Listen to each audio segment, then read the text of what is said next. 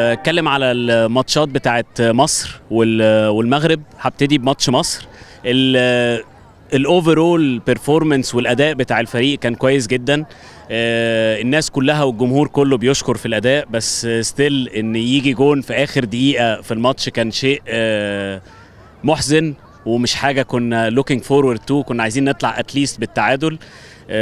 صلاح ما لعبش أول آه، ماتش وده كان ليه impact كبير. فهوبفلي الماتشين الجايين في روسيا والسعودية إن شاء الله هنكسب وهنتأهل للدور الثاني بالنسبة للمغرب آه، أشقائنا في أفريقيا وأشقائنا العرب آه، نتمنى لهم برضو إن هم إن شاء الله يكسبوا ال- الماتشات اللي جاية ويعملوا نتائج أحسن وبذلك يتأهلوا للدور اللي بعديه.